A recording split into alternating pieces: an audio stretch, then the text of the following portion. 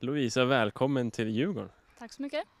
Första dagen här egentligen, du blev klar så sent som igår. Hur, hur kom det sig att du kom hit? Vad, vad hände? Vem hörde av sig?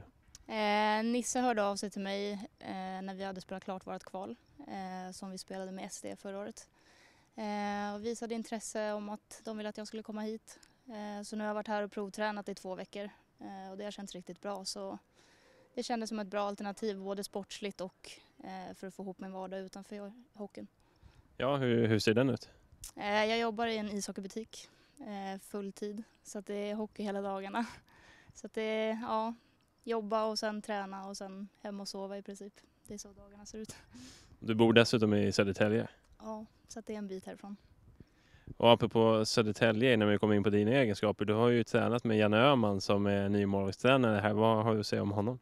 Eh, ja, han är den bästa målvaktstränaren jag har kört med. Eh, han jobbar verkligen med individen och eh, han är riktigt, riktigt bra. Så att, det ska bli jättekul om jag kan få lite samarbete med honom här också.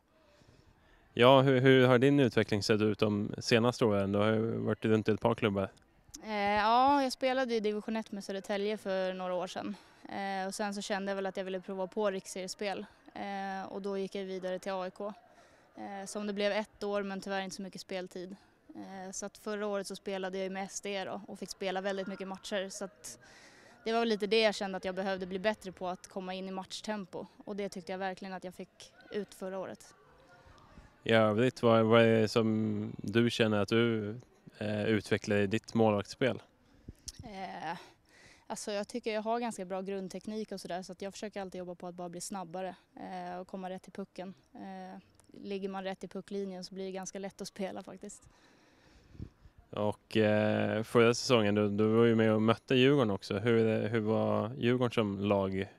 Eh, de var bra, de var tuffa att möta. Eh, det gick fort. Eh, men det var, det var riktigt roliga matcher. Det vart ju lite, kvalet för oss med SD blev lite jämnare matcher än det blev i riksserien.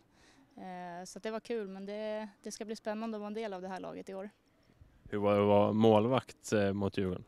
Det var svettigt. Jag hade ganska mycket att göra den matchen mot dem. Men det, jag är en sån som älskar att ha mycket skott på mig så det var bara roligt. Gå över till rätt sida nu då. Vad, vad tänker du härnäst? Vad är, vad är din ambition? Eh, nej, alltså jag vill bli så bra som jag kan. Eh, mitt fokus just nu är väl att spela så bra som möjligt för klubblaget. Eh, landslagsspel är bara ett plus. Eh, men just nu är det att ja, men känna att jag utvecklas hela tiden och blir så bra som jag kan. Du hade varit med i landslaget lite grann, du var med på lägret inför OS. Ja, det, det var kul att känna på hur man klarade av det om man ska säga. Eh, men det, det ställs ju väldigt mycket högre krav och det tar även mycket tid att vara med i landslaget eh, i och med att de har mycket läger och turneringar.